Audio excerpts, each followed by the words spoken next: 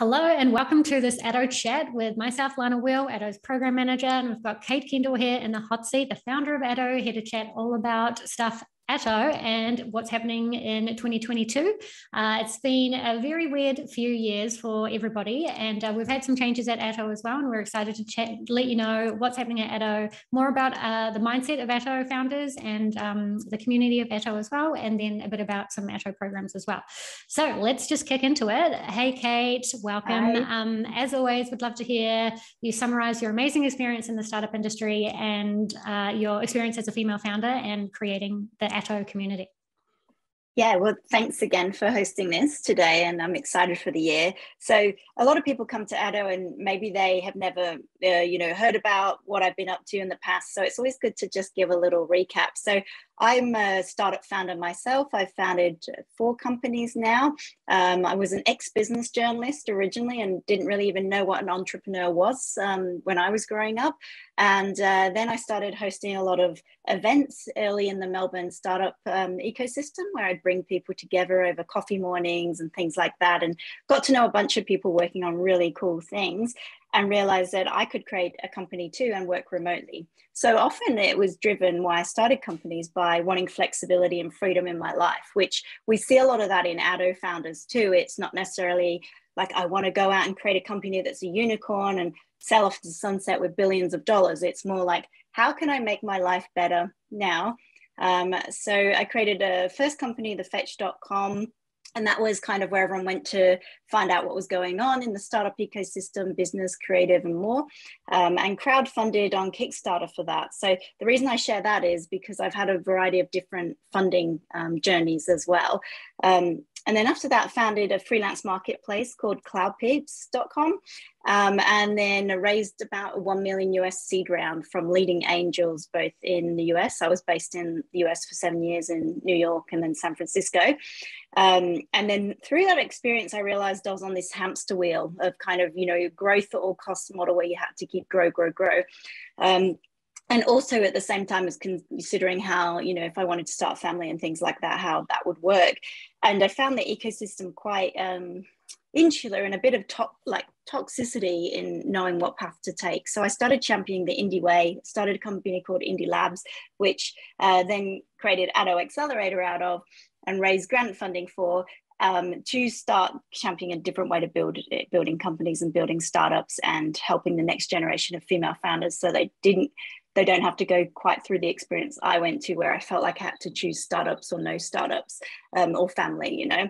Um, and then we started in 2019 and it's been an incredible couple of years. Uh, we were one of the world's first remote accelerators um, that existed prior to COVID, and then now everyone's remote. So um, we've had a lot of learnings there too, but um, happy to dive into a bit more if needed too, Lana. Amazing. Thank you so much for that epic summary, Kate. Uh, I love learning from someone like you who has that experience as a founder and has the range of funding experience as well. Like it's so valuable for our founders to know that there's not one way to do something because uh, a lot of people do champion uh, raising funding and raising money from venture capitalists as well. So it's very awesome to hear from someone firsthand those differences as well. So uh, you said it started in 2019, and maybe you could just take us through the evolution of Atto a little bit more. So what happened the first year, and now we're in the the third or fourth year, and uh, what's changed over that time? Yeah, so the first year we ran an accelerator program that had a few, uh, you know, we had an offline demo day pre COVID. It was a smaller batch size, um, and it started with uh, a lot of kind of uh, weekly workshops, but not as many um, events within the program itself. And each program now seems to be getting bigger every year, and we like to keep it still focused.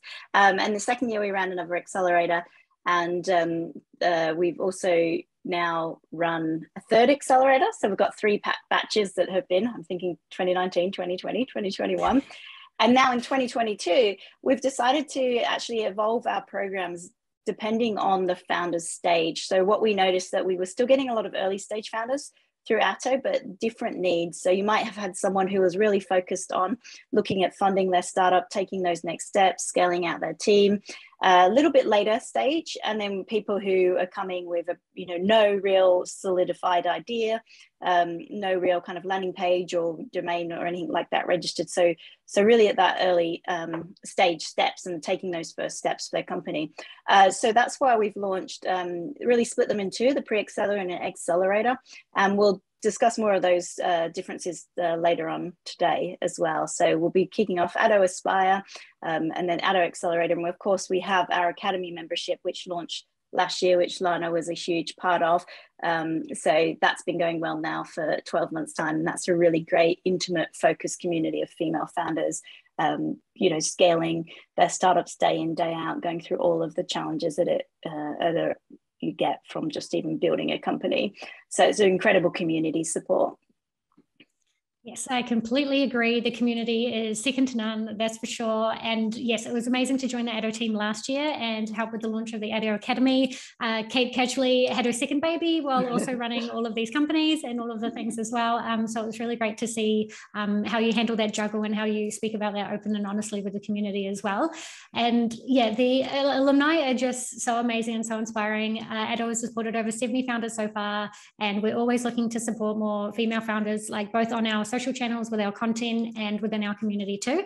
I was just thinking we should touch a bit on uh, what is a startup as well, because I, mm. I, find a lot of founders don't really know the definition of a startup. Uh, LaunchVic have their own definition, um, but I also um, quite like the tech enabled term as well. But then there's also like business versus company versus startup. How do you define a startup, Kate? And what do you think a tech enabled business is? Yeah, so I'm a bit of a purist when it comes to the term startup itself because that kind of arose out of Silicon Valley. A lot of businesses that had the ability to scale to millions or billions of users quite quickly and they had a scalable business model. So these companies um, are quite different from what you'd consider, you know, a small business, a small business which is uh, largely dependent on the number of people to scale. So they scale through people, not technology. Um, and obviously people like Peter Thiel, Paul Graham, a lot of these people that have been talking about startups for a while have that definition of a startup too.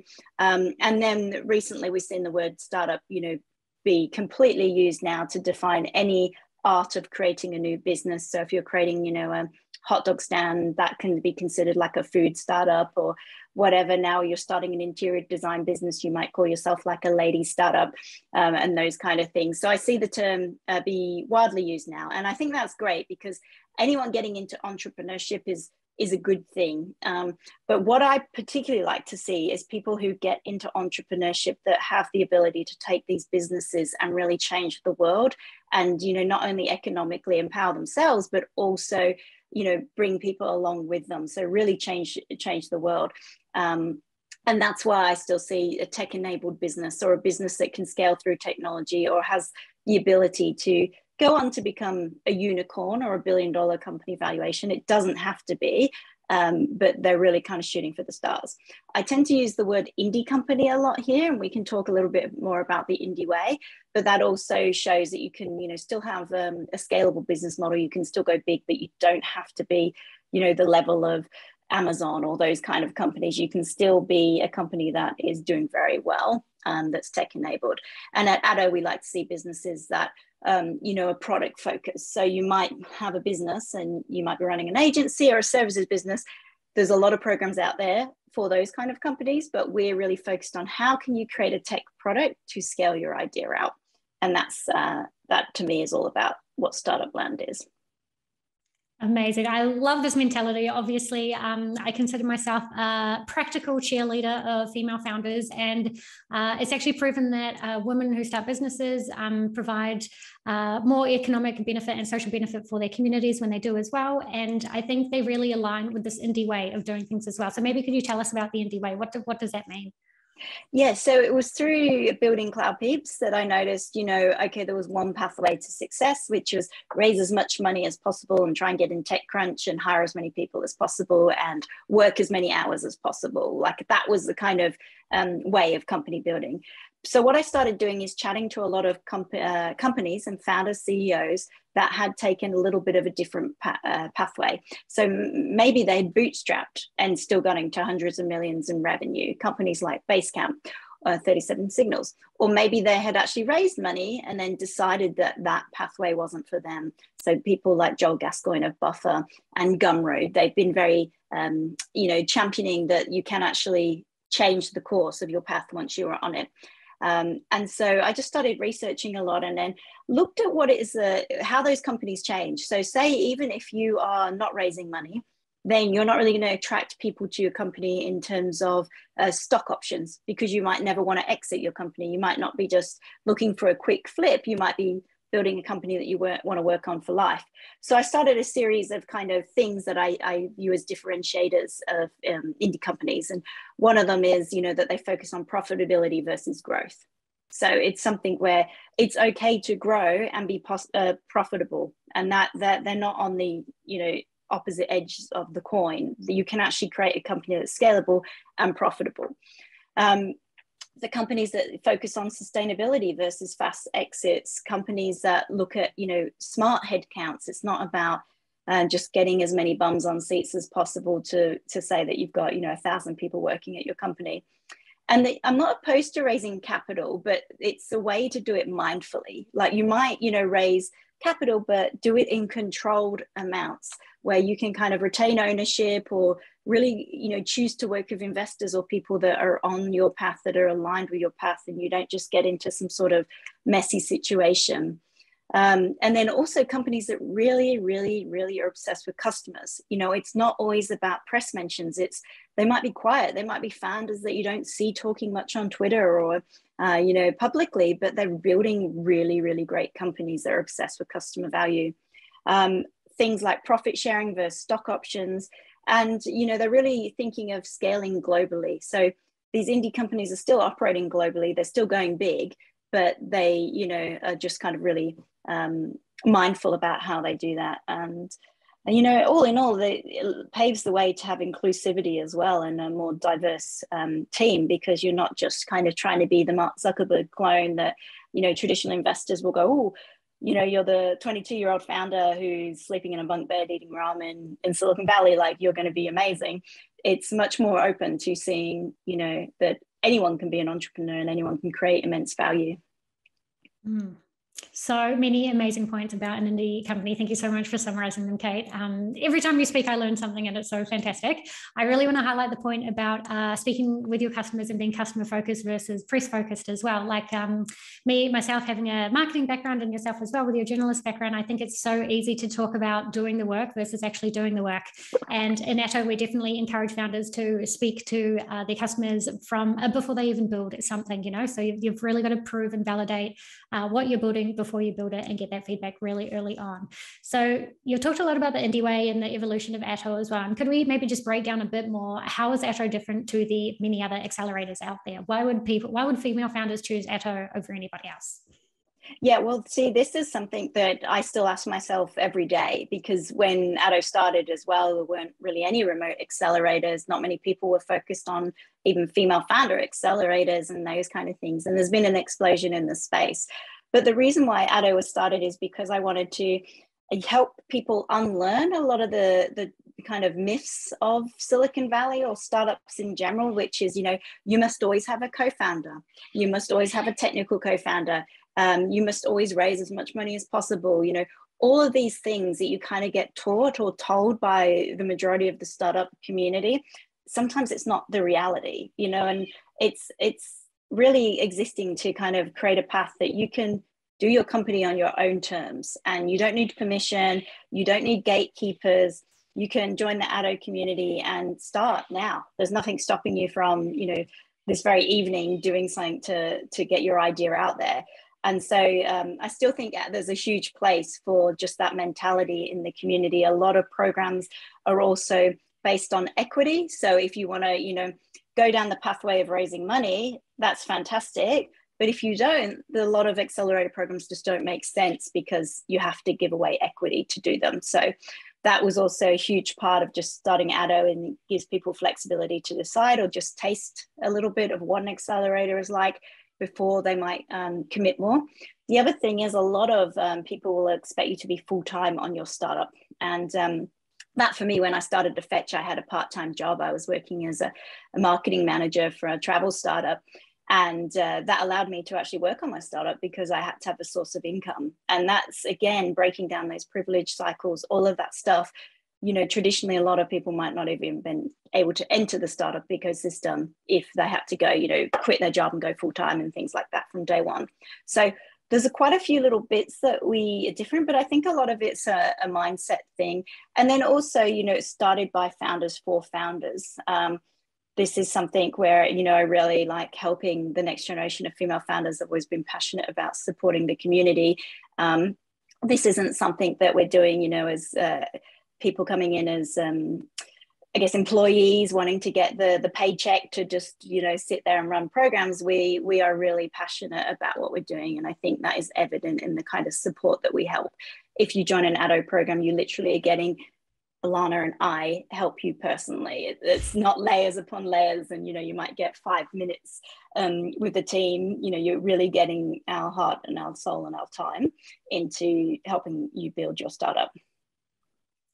Amazing. And let's talk about building a startup as well, those first early stages. Like it's such a whirlwind for so many people. Um, we've had people who've been working full time and participating in the programs with like flexible lunch hours and stuff like that. We've had people working part time. We've had people who are building consultancies and they are trying to scale that with technology. And then we've had people who are trying to do this full time as well. So there's so much support that's needed in the early stage of the startup of a startup. Um, what would you kind of uh, how would you summarize that journey in the first couple of years? There's so many things um, that founders need, and ATTO offers quite a few of them as well with coaching and masterminds and community and education and things. But from your perspective, what do founders really need in those early years?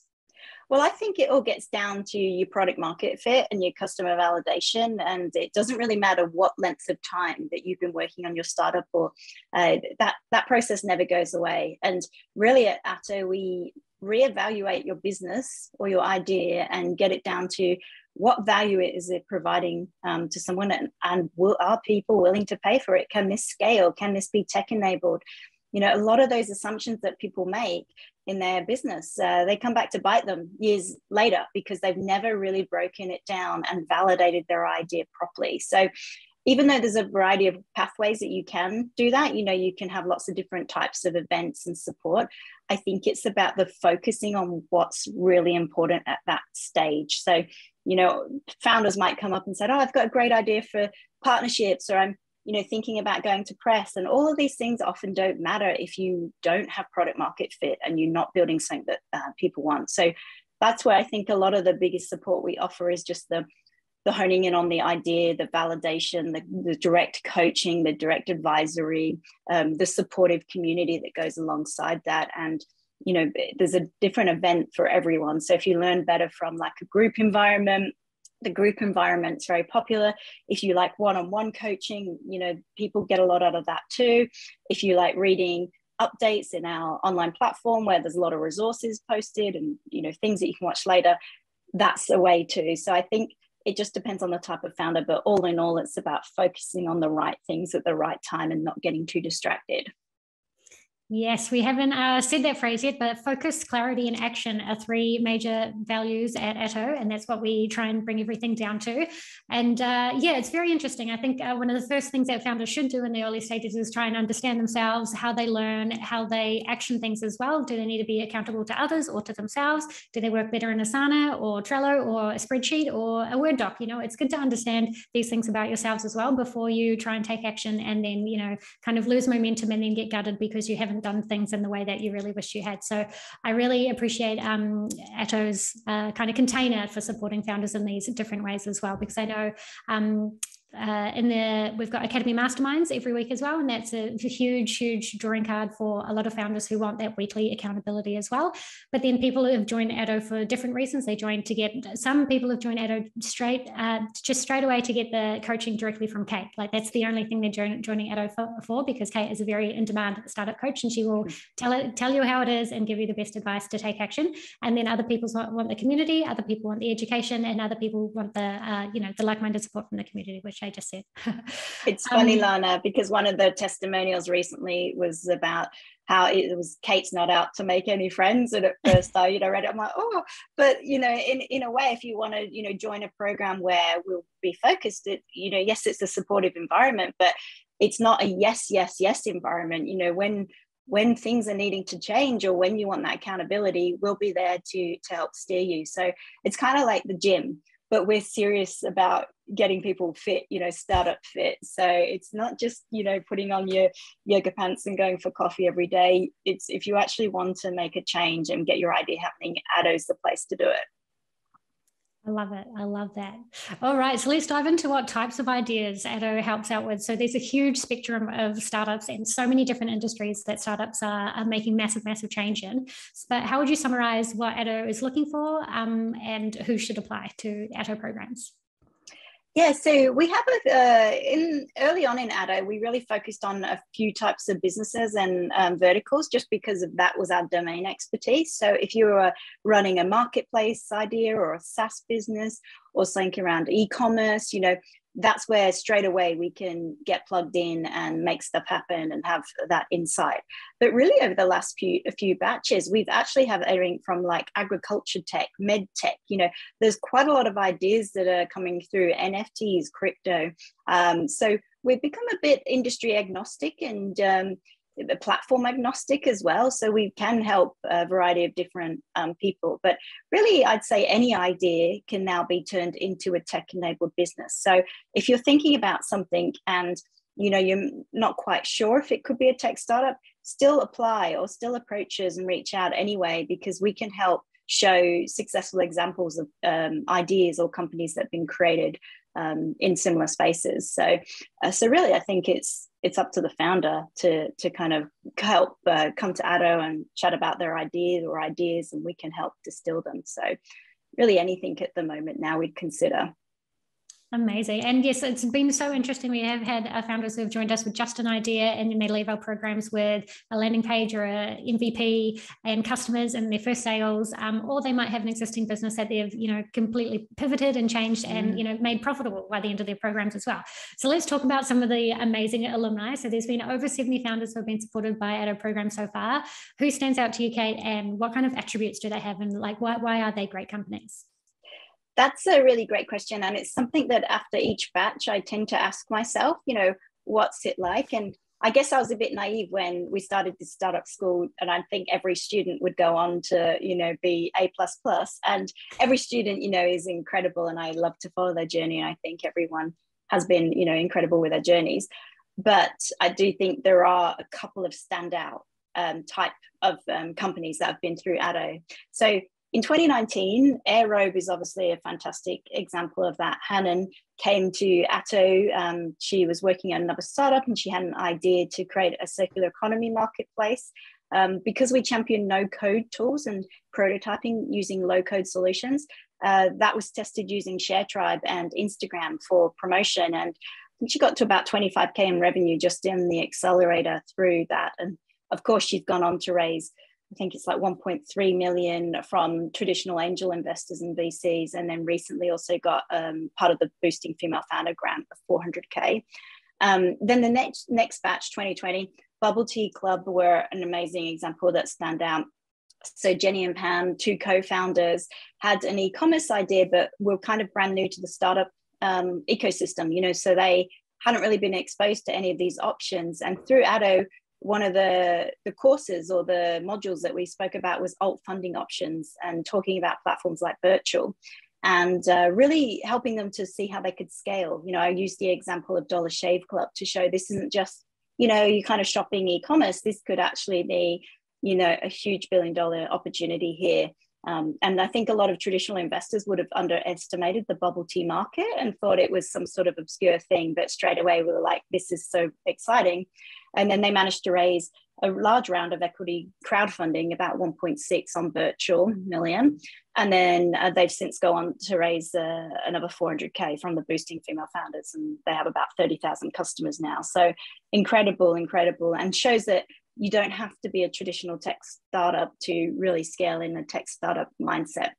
Um, and then last batch, uh, Cool Points Club uh, really stood out for me. Just again, a co founding team uh, really incredible, just tenacity and really understood the space. So I was learning a lot about um, NFTs uh, and front from the metaverse, Web3, you know, all of this stuff that's just coming out in the last year or so from the founders. And, you know, off half the time the coaching sessions, I was like, wow, I'm just learning more than I'm offering. But that to me is like someone super passionate about the space that are raising a seed round now using NFTs and crypto. And, and um, I think that's super exciting. So, you know, each of those examples, you've got traditional VC, you've got alt funding with Birchal equity crowdfunding, and now you've got um, NFT crowdfunding. So again, not many accelerators would even be um, open to those different pathways because venture capital likes it to be quite uh, linear, and then you build your round and round and round and round, and you're not getting, you know, non-sophisticated uh, investors on board and that kind of thing. And then a couple of other quick examples of websites. So Isla is incredible founder working on a bootstrapped company. And uh, we really helped her learn how to just increase her prices and just say, go for it. You've got to increase your prices. And even just through those rounds of iteration on pricing and uh, launching a B2B offering, uh, she became profitable. So again, her whole timeline of creating her company has, has expanded because she's now profitable. Um, and then um, Coffee Roulette, Zove Beauty, you know, there's just quite a, a bunch of examples that have, have stood out, but really there's something um, for everyone. We've had all sorts of companies. So please go and look at our alumni list at forward slash startups on atto.vc for a full taste. Yeah, so all of the startups are listed. You can stalk the founders, look them up on LinkedIn, check out the websites, like them on Instagram and Facebook and Twitter and all the places that they are. Um, so that's atto.vc forward slash startups. Um, there's some super inspiring founders there. And also always on the blog, we um, hero our founders there too. So that's atto.vc forward slash um, news. And you can find some awesome stuff there as well. So we haven't touched on no code, which I think is a huge draw card for Atto as well. I uh, didn't know too much about no code tools. I was like, oh yeah, probably would still be really hard to make these no code tools. And I've had such a great time getting an education about no code tools and the power of no code tools and what they can do for founders, especially in the early stages when you're just testing with customers. Kate, can you share your journey with no code tools and what you think of them and how our founders use them? Yeah, so I probably discovered no code around 2017. I mean, these um, you know visual programming environments, these type of platforms, WYSIWYG type editors and that kind of thing have been around for decades actually.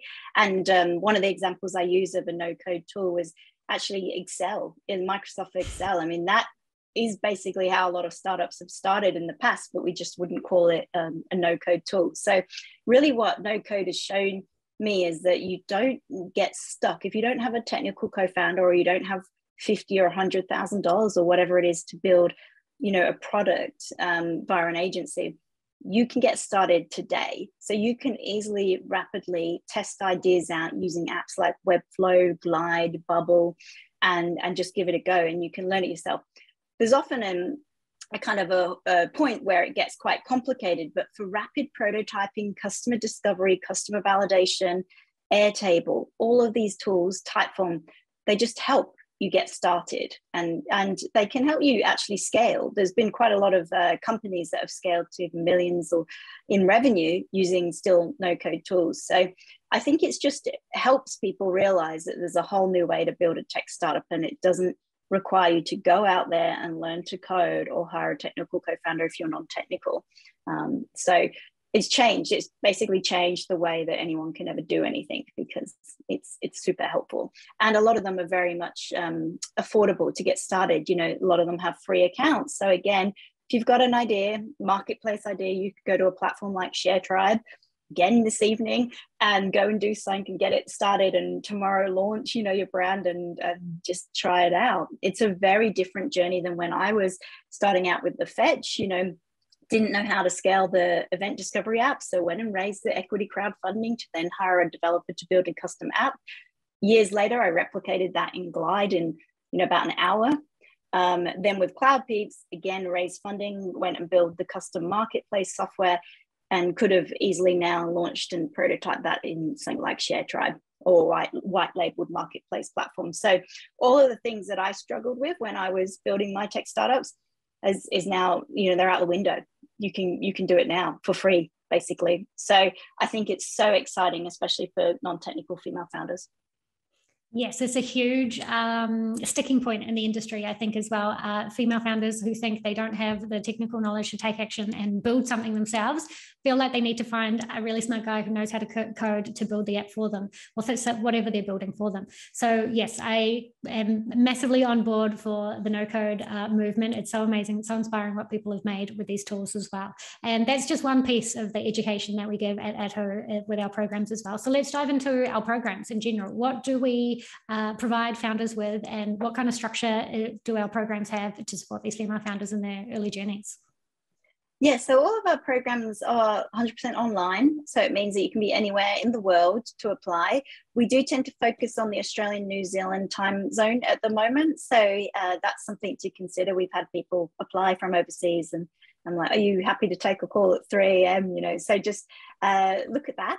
Um, and uh, we have a variety of different things throughout the week. So um, each week in the accelerator, we get an Atto educator in that can talk about a topic. Um, we call them the master classes. They're really these workshops, deep dives into a certain area um, and uh, have a Q&A around them as well. So the people can um, just ask our educators anything they want. Uh, then we have the masterminds. These are sessions that are peer-to-peer, founder-to-founder sessions. And these relationships that are built through those, I mean, they'll they'll last you for life. Most of the people in their mastermind continue to talk well out of, well outside of the Atto formal program period. So that's really a fantastic way to build that community and to have that support from other founders in the same um, kind of space that you're at. Uh, we also do the one-on-one coaching. So there'll be uh, time, 30 or 60 minute sessions that people often book in with myself. Um, and then we have office hours that we regularly do with ex, uh, experts and the amazing Atto teams such as Lana that you can ask if you've got a question about marketing, communications, accounting, legal, there's a range of people that you can book in uh, for. And then we've also had some of the community take on social hours and that kind of thing um, uh, throughout the program. And our accelerator ends with our annual demo day that happens in um, November, December each year, where we invite investors um, from the community um, to judge the demo day. And we have um, really, you know, quick pictures and you can kind of see, uh, celebrate what the founders have been working on throughout the accelerator in the year. Um, and uh, yeah, that's basically the program. And we have an online community platform where you can go and access all your resources and, ask a question or um, direct message people or anything that you need, look at other profiles. Um, and that is asynchronous, so you can do that whenever you want. Yes, there's so many resources on the platform that we share from external resources that help founders, but also all of the masterclasses uh, that have been recorded previously at Atto as well, which are so valuable in themselves. Um, I just wanted to touch on the uh, demo day as well. So all the demo days are recorded and they're on YouTube, so you can go back and watch previous years. Um, it's super inspiring to look at where founders have gone since then to now. And some people have joined Atto for the demo day for the exposure to uh, investors if they do want to raise capital, where other people have used it as kind of like a, a signpost or you know like the goal to get to where you can talk about your business for five minutes and you can explain the problem, the solution, uh, your go-to-market strategy, and that type of thing as well. So it's a very very uh, important part of the Atto um, experience. And we also have these internal showcases as well. So um, not only do the founders meet at the masterminds and on our online community, but we provide the opportunity for them to share what they've been working on, share their lessons, and then support the community in that way as well. So I was just thinking, could we touch on some of the other successes that uh, founders have had post Atto? So what, what do we expect people to get uh, once they leave the programs? What, what do we expect from them um, through the uh, programs themselves and then afterwards? I think it depends on the stage of the founder and where the founder's at. If they've got an existing business that might, you know, need help being tech enabled, or they might, like we said, orbit or pivot, um, really through Atto, they should walk away with um, a pivoted business model at the end of it and a pivoted business. And we've seen quite a lot of those companies as well um, that have done well, just even go through Atto to kind of turn their business around and start scaling it. Um, and then if you're brand new, well, you know, brand new idea and you're starting out, you're really going from just a, a, feeling of what your company could be and who it could be marketed to and that kind of thing. Um, refine that down to, you know, have, have registered your company to um, creating your brand name, your domain name, uh, initial customer validation. You might have started to build a mailing list, get a bunch of customers on there, maybe even taken um, customer orders or started earning revenue. I mean, that's that's the kind of main goal. And then a pathway or a roadmap um, post Atto to see what the next steps are. So that might be scaling out your product more. It might be looking for some uh, next step of funding to help fund the next part of your journey. So it really depends on the type of um, stage company um, that then the founder is at. Um, each person kind of comes with a different goal, a unique goal. They might be a similar stage, but they have different goals as well. So it just it depends on the founder. I love that. The classic answer, it depends, but it also is individual as well. So like there's no one right way to do it. And it all depends on what the founder wants and how big they want to go as well, which I, I really, really enjoy about Atto. So uh, who should apply to Atto programs? How would you summarize their kind of attributes and what they're what they're doing right now? Yeah, so again, maybe it is a little bit, it depends, but we've had all sorts of applications from people who might be working full time, uh, people that might be uh, working full time for someone else, um, then people who might be working full time on their own business. I find if you've run a business before, maybe an agency or a small business, you've already got that um, you know, used to uncertainty and used to having no structure and all those kind of things when you first start working for yourself out of the way so you can really hit the ground running at a program like Atto. Um, people who have multiple ideas, it's great as well because you can help um, focus and, and look uh, through that. People who have a company that, you know, they might have gotten to a certain level, but now they need help understanding how tech can help them scale further. Um, that's it. People who are new to the tech startup ecosystem in general and just want to network and, you know, really kind of plug in and hear what it's like um, authentically from people who have been in that community. So, um, people who have been maybe stay at home parents and they're now looking to kind of create their next endeavor as well. So, again, it really is uh, anyone who's looking to take that next step and use technology to, to follow through a big idea. Yes, and we do need diversity in the ecosystem as well. So it's wonderful to welcome people from all of these different areas as well.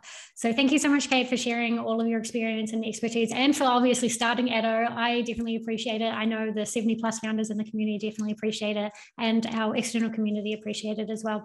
We've had feedback that they just love the content that we create as well and the inspiration that we can share for future female founders because we have a bigger mission to support, uh, you know, women to build companies and the impact that's going to have long term on the world. So let's just talk a little bit about our next upcoming program, the Atto Aspire. How is this different from the previous accelerators that Atto has run? And um, yeah, tell us a bit more about this program. So uh, consistently in our previous programs, there are a few of the sessions were the most highly ranked, and they were around you know lean product, lean MVP, prototyping, customer discovery, idea validation, and uh, that's the time that most of the founders spend on but a lot of the time throughout the program that's what they get stuck on because they've got the idea they need to discover who their customers in they need to discover what the business model is and that all needs to happen before you can really build a product or you can go to market or you can you know look at your funding strategy. You kind of need to figure out what you're doing. And so what we've done is really dived into that area and um, then spread it out so the founders through Aspire can really like spend more time validating their idea, um, conducting customer uh, research, surveys, all of that stuff that takes a long time before they take that next step when they really need to start investing, um, knowing that they're investing from a place of strength. So a lot of the other stuff that was less important for super, super early stage founders, we've now said, okay, that's not something you need to focus on right now what you need to focus on is your idea, customer discovery, all of those things. Um, and uh, we've also shortened it to eight weeks. So you can go hard in a shorter period of time. And for people who have time commitments, that can often work better as well. So this program is a really great exploring uh, program. It's also a more affordable program for people who want to um, try, you know, get involved in tech startups and see how it goes. We also have scholarships, which people can check out as well. Um, and then the accelerator, then, you know, if you've graduated from Atto Aspire, it would make sense to go into the accelerator program, which is all then about scaling your idea further, customer acquisition, marketing, press, funding, storytelling, pitching. It's that next step that you're really getting to. So they now work in combination with each other. And if you're someone who's already kind of gone through that product market uh, fit stage and now you're looking at funding, the accelerator is a really good place to, to, to focus. So it's it's a really great um, differentiation.